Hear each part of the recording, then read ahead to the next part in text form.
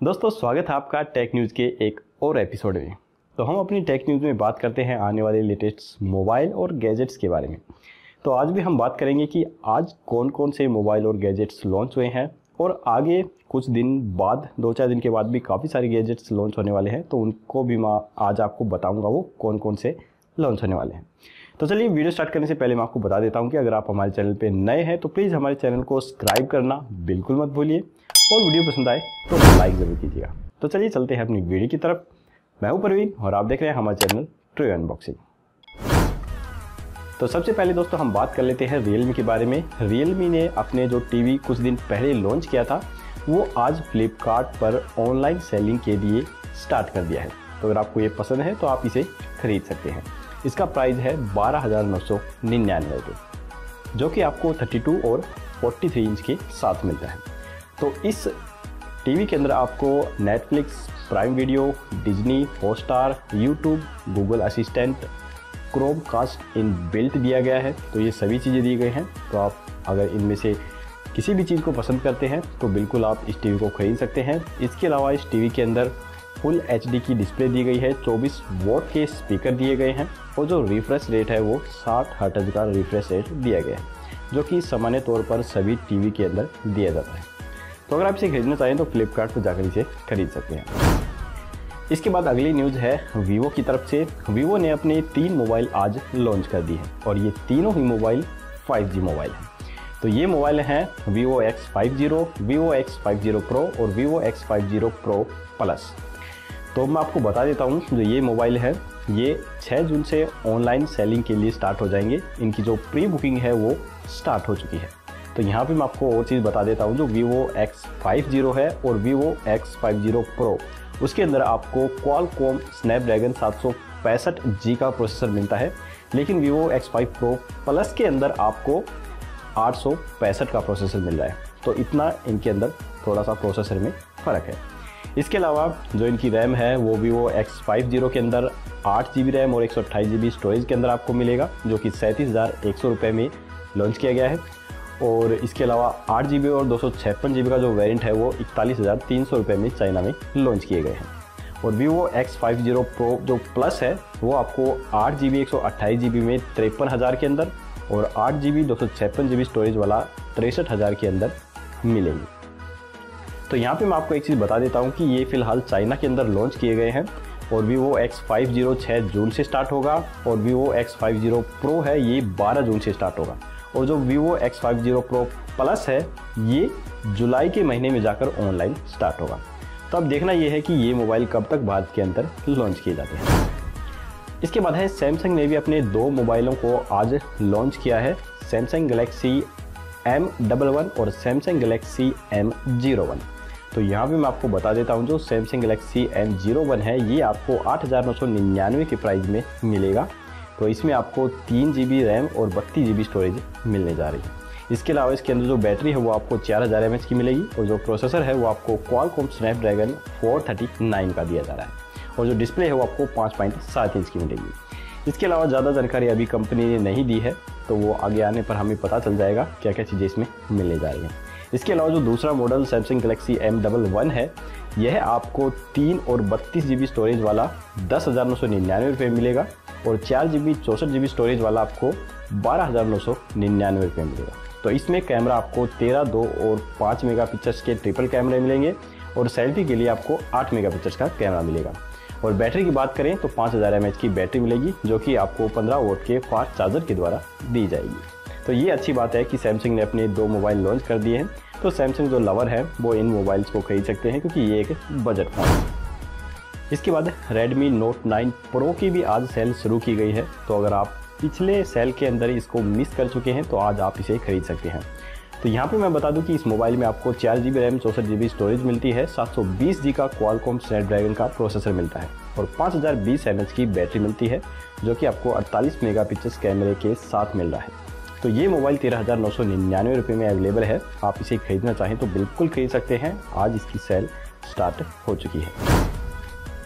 तो ये तो थे दोस्तों आज लॉन्च होने वाले प्रोडक्ट तो अब हम बात कर लेते हैं नेक्स्ट यानी कि आगे कौन कौन से प्रोडक्ट लॉन्च होने वाले हैं। तो सबसे पहले मैं बता दूँ कि जो वन प्लस एट है, वो परसों लॉन्च होगा, यानी कि चार जून को लॉन्च होगा। तो अगर आप इसे खरीदना चाहें तो आप उसे खरीद सकते हैं। मैं बता दूँ कि इसकी जो फ़र्स्ट सेल है, वो पहले 29 मई को होनी थी, लेकिन कोरोना वायरस के चलते कुछ कर्मचारियों के अंदर कोरोना वायरस मिल गया था, इस वजह से कंपनी ने वो पहली सेल कैंसिल कर दी थी तो इसकी अब जो पहली जो सेल है, ये चार जून को दोपहर बारह बजे शुरू होगी। तो अगर आप इसे खरीदना चाहें तो बिल्कुल खरीद सकते हैं। तो ये मोबाइल दो तीन वेरिएंट के अंदर अवेलेबल है। छः जी बी एक सौ अट्ठाईस जी बी जो स्टोरेज वाला है, वो आपको इकतालीस हज़ार नौ सौ निन्यानवे रुपये मिलेगा। और वन प्लस एट प्रो जो बारह जी बी रैम और दो सौ छप्पन जी बी स्टोरेज वाला है, वो आपको उनचास हज़ार नौ सौ निन्यानवे रुपये मिलेगा। तो अगर आप इसमें इंटरेस्ट रखते हैं तो चार जून को आप ध्यान रखिए, इसकी सेल स्टार्ट होने जा रही है। इसके बाद अगली न्यूज़ है दोस्तों ओप्पो लवर्स के लिए। तो ओप्पो लवर्स जो अपना नया मोबाइल लेना चाहते हैं वो ओप्पो रेनो 4 को 5 जून को ले सकते हैं क्योंकि 5 जून को ये लॉन्च होने वाला है। तो यहाँ पे मैं बता देता हूँ कि ओप्पो रेनो जो 4 है वो आपको आठ जी रैम और एक सौ स्टोरेज के साथ मिलता है जिसमें आपको 48, 8 और 2 मेगापिक्सल्स के ट्रिपल कैमरे मिलते हैं। इसके अलावा ओप्पो रेनो 4 जो प्रो है वो आपको बारह जी रैम और दो सौ स्टोरेज के साथ मिलता है। जिसमें आपको 48, 12 और 13 मेगापिक्सल्स के ट्रिपल कैमरे मिलते हैं। इसके अलावा इन मोबाइल में आपको 4000 हज़ार की बैटरी मिलेगी जो कि आपको पैंसठ वोट के सुपर फास्ट चार्जर के साथ मिलेगी। तो ओप्पो लवर्स इस बात का ध्यान रखें कि 5 जून को ये लॉन्च होने जा रहा है। तो अगर आप इसे खरीदना चाहें तो 5 जून को इस चीज़ का ध्यान रखें। लॉन्च होते ही आप इसे बुक कर सकते हैं। शाओमी अपने नए नोटबुक लैपटॉप्स को और अपने एम आई बैंड 5 को 11 जून को लॉन्च करने जा रही है।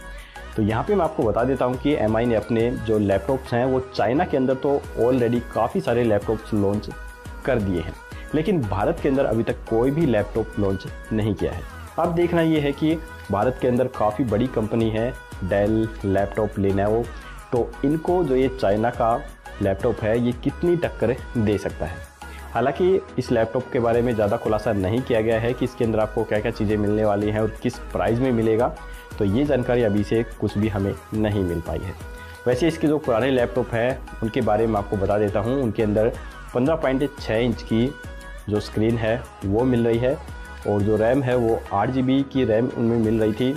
और जो एसएसडी है वो पाँच सौ की मिल रही थी। तो ये इसके पुराने जो लैपटॉप हैं, पहले लॉन्च हुए हैं, उनके अंदर ये चीज़ें मिल रही थी। तो हो सकता है इसमें थोड़ा बहुत बदलाव करके जो नया लैपटॉप है, वो 11 जून को आपको मिल सकता है। तो ज़्यादा जानकारी तो तभी पता चलेगी जब इन्हें लॉन्च किया जाएगा। इसके अलावा एमआई अपना एम आई बैंड फाइव लॉन्च करने जा रही है। इससे पहले एमआई ने अपना एम आई फोर बैंड लॉन्च किया था, जो कि दो हज़ार दो सौ निन्यानवे रुपये में मिल रहा है।